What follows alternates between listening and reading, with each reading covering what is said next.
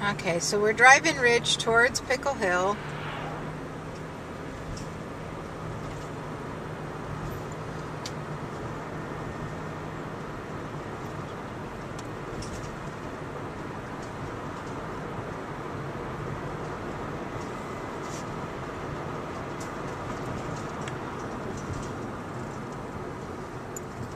So here's the corner house.